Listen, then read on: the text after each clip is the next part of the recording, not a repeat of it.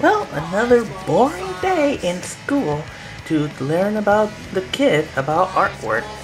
But I know it's still early, but I wonder what they're gonna come in right about now. Why, hello, Miss Violet. How are you today? Oh, the usual, just teaching kid, doing stuff. Well, I mean, there is one kid that has actually been detention too many times. I see.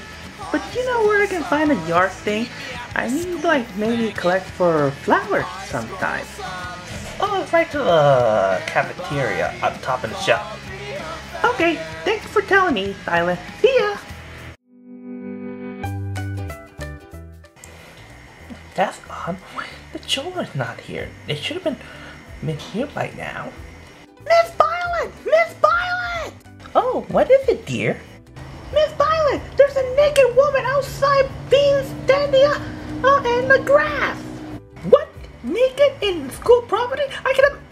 Wait, did you just say peeing standing up? Yes, Miss Violet. She was actually peeing while standing up.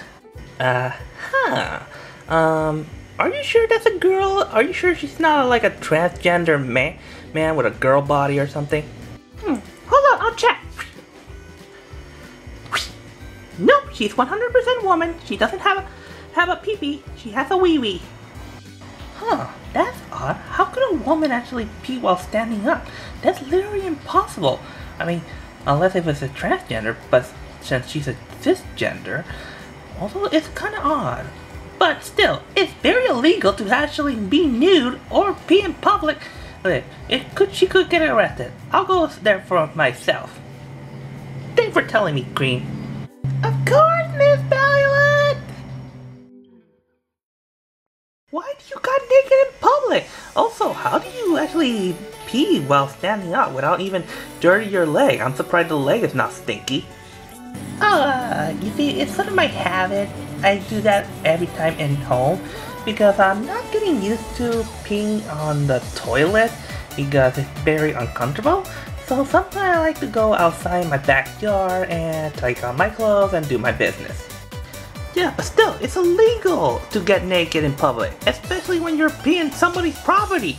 Hey, you couldn't get arrested. I'm surprised that I didn't report you to the principal's office or else you get fired. yeah, I know. Next time I'll probably use the toilet when I'm in public. Yeah, you better do that. Although, it's kind of weird. How do you even pee without even messing up? I mean, you don't even have a, a, pee-pee. Eh, I don't want to answer that. Ugh. Hey everyone, it's Joshua, and I want to tell you, this skit is not actually based on a true story, although it would be actually awkward if it did actually happen. But no, this skit is actually based on a dream that I have from my childhood a long time ago when I was still in school. You see, uh, in this dream, there was this random woman, but she doesn't exist in real life. Like, she was sort of a regular, normal woman with a long blonde hair and a fancy dress, business form. So what happened is that she actually talked to the teacher for a little while in my classroom. I don't know which teacher was. It could be my male teacher or my female teacher, etc. Because I have different type of teacher because I have like three classes in every different week. Especially in Tuesday where we do gymnastics or gym class. So anyway, I think it's either from March, uh, I mean Wednesday or Thursday day. So at the recess part, we actually get get her in line. But what I noticed is, I mean, all the rest of the children even notice that. What? Well, but when we actually got outside, we actually saw, saw the same wo woman, only this time she was completely naked.